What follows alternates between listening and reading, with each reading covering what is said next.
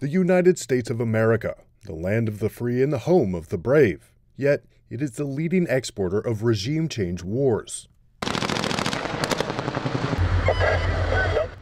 In 2003, a coalition led by the United States invaded Iraq to overthrow the government of Saddam Hussein on the pretext that Saddam was developing weapons of mass destruction, or WMDs.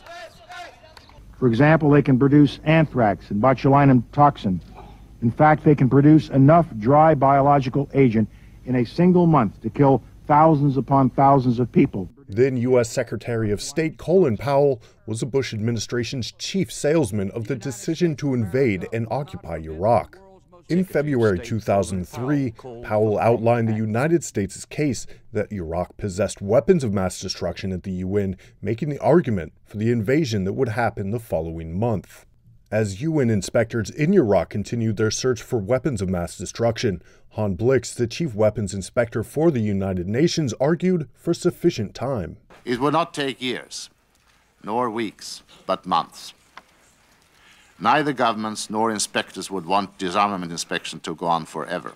But the U.S. Secretary of State did not want any more arms inspections. He called for prompt action. The gravity of this moment is matched by the gravity of the threat that Iraq's weapons of mass destruction pose to the world. Others urged for restraint. To what extent do the nature and scope of the threat justify the recourse to force?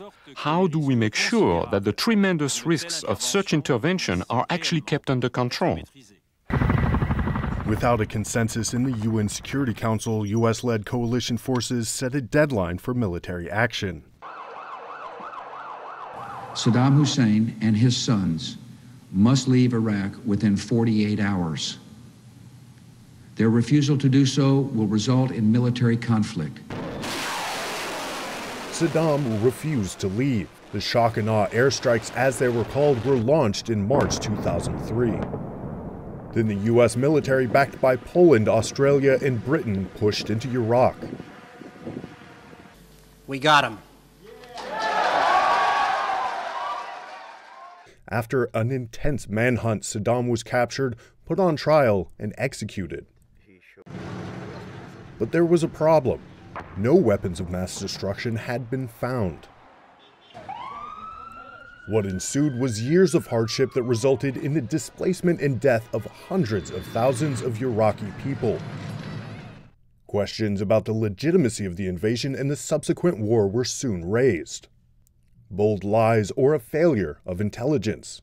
That's a question many have been asking for years. Unfortunately, the U.S. Congress never investigated Powell's use of the intelligence he was given. I think that Colin Powell had gone through a lot of material, and, and we know that he had thrown out a lot of it and said this doesn't hold water. But he was also a good soldier and loyal to his president.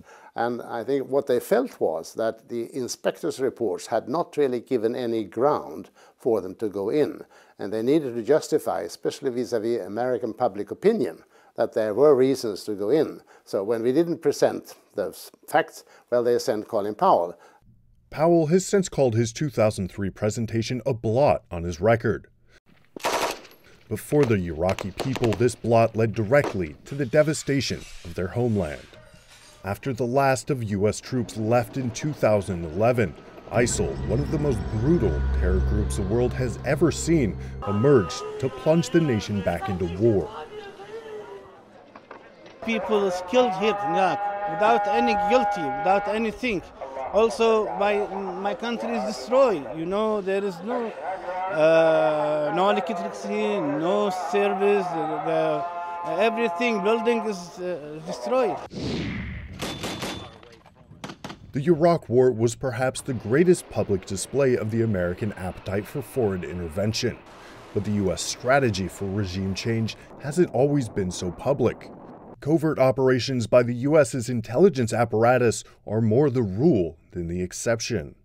Mossadegh was the democratically elected prime minister of Iran between 1951 and 1953 he led efforts to nationalize Iran's oil industry, which had been built and run by the Anglo Persian Oil Company, a company that was later renamed British Petroleum. A hugely popular move within Iran, it caused great consternation among American and British oil interests.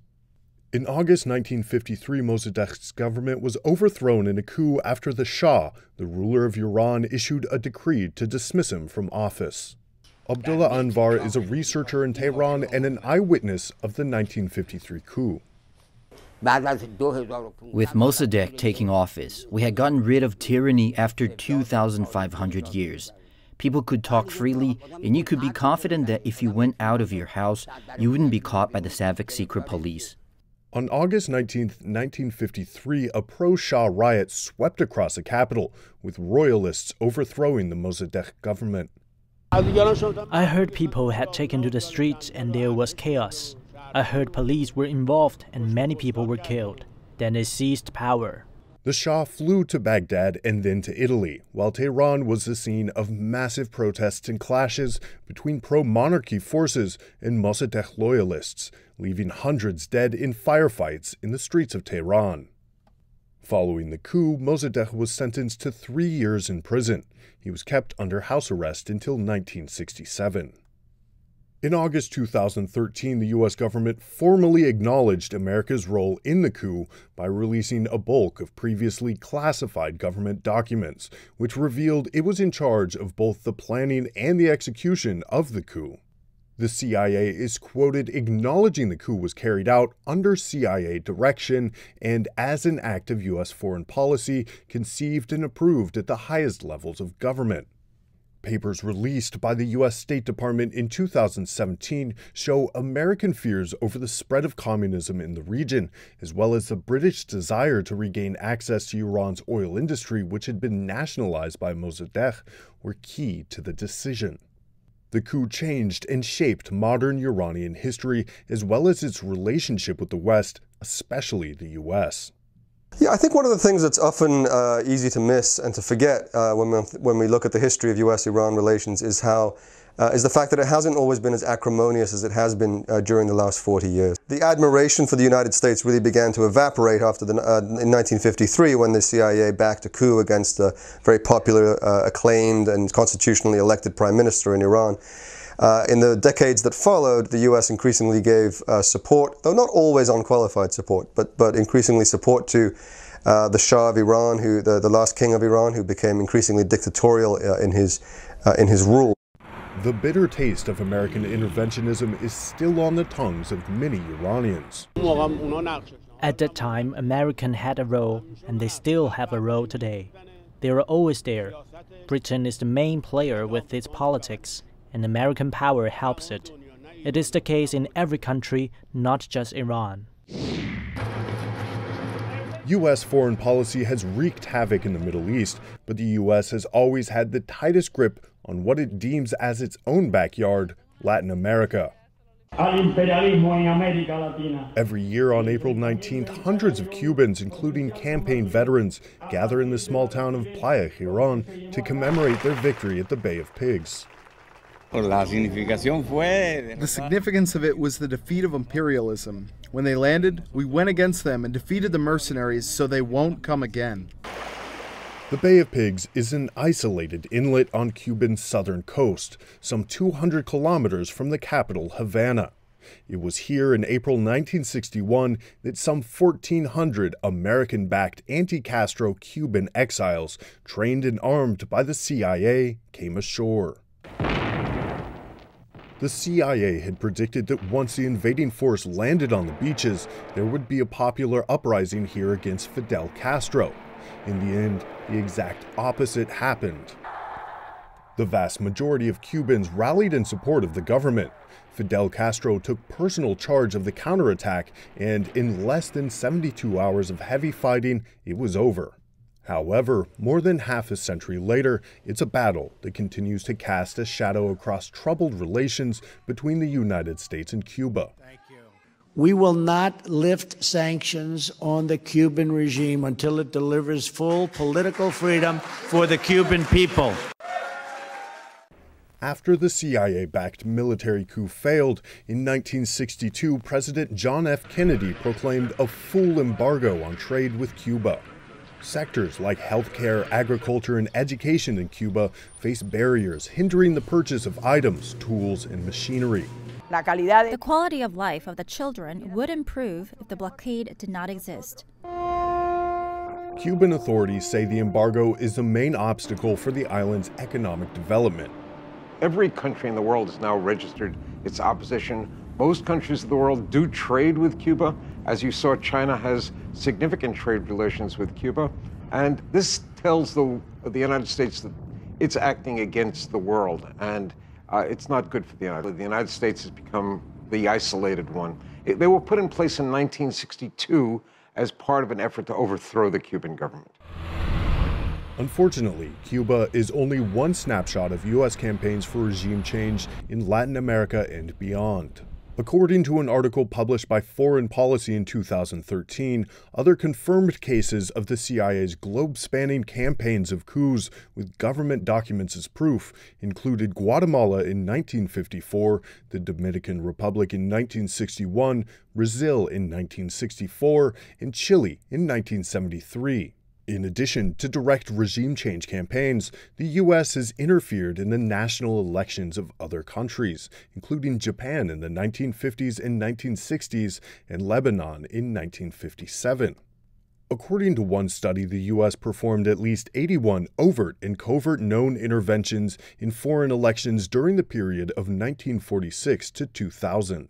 There have been no shortage of calls both in and outside the U.S. for an end to the country's covert regime change operations and wars. But the U.S. political and military machine rolls on.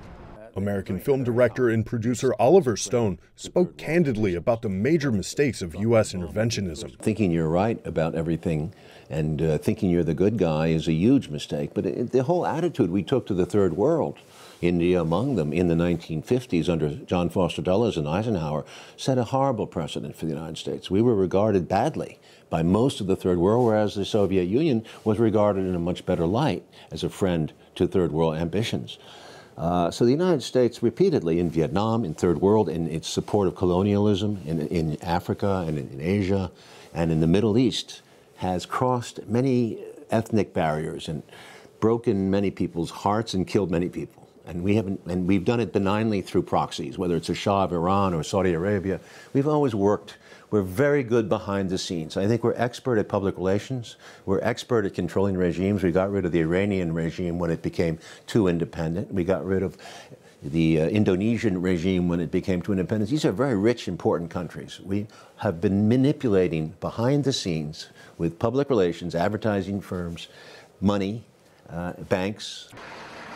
Whether it's the scars of war left in the Middle East by U.S. military action, or the economic and personal hardships the people of Cuba are suffering as a result of American trade sanctions, the legacy of U.S. interventionism will continue to weigh on the shoulders of the global community for many years to come.